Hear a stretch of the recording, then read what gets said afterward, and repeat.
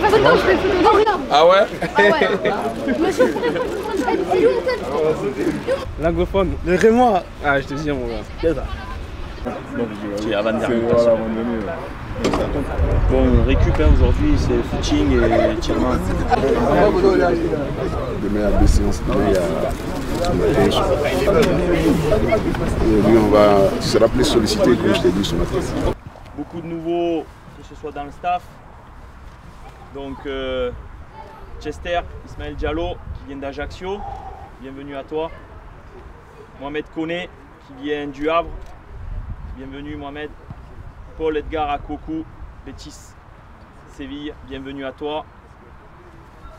Après, ben, je crois que tout le monde est déjà venu une fois.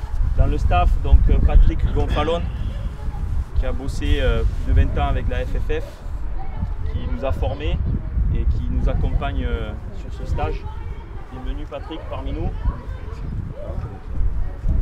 Ensuite, euh, vous verrez le docteur Malafosse qui va faire les bilans. euh, L'idée, c'est d'éviter à ce qui s'est passé avec Sylvain, de faire les bilans, que ce soit physique, mais aussi dans vos suivis médicaux dans les clubs, pour que ça ne se reproduise plus, les, les petites erreurs de prise de médicaments ou autres. Donc, vous pouvez y aller.